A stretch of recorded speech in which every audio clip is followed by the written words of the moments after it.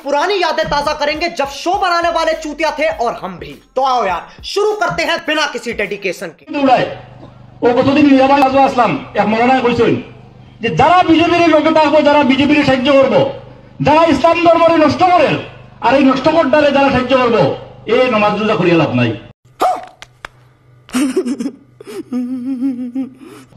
এই ইসলাম এই ইসলামও নাই ইসলামের বিরোধিতা করে Wait a minute.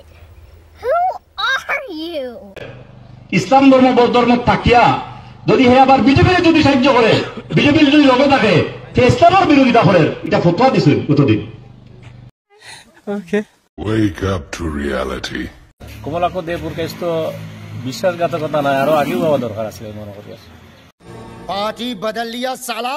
কারণ উন্নয়নের স্বার্থে আজকে আমি যে কিছুদিন আগে আমি যে সময় যে যতটা মানে স্কিম আমি প্রথম বিদায় করার পরে মুখ্যমন্ত্রী আমার স্পেশালি সাহায্য করছেন দশ কোটি টাকার স্কিম দিয়েছেন। পিডাব্লিউডি স্কিম অনেকে এটাও মানে অনেকের চকুত এটা খারাপ লাগছে।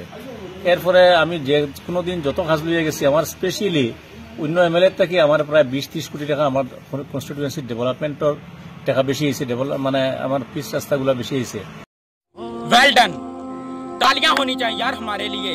ও রিসেন্টলি আমি আরও আরও সাতাইশ কোটি টাকা আনছি। মানে রাস্তাঘাটের উন্নয়নের লাগে